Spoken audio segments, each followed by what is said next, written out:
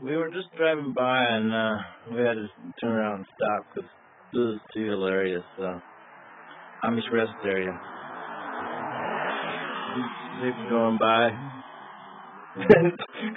see, see this uh this uh sign by the toilet saying Amish rest area.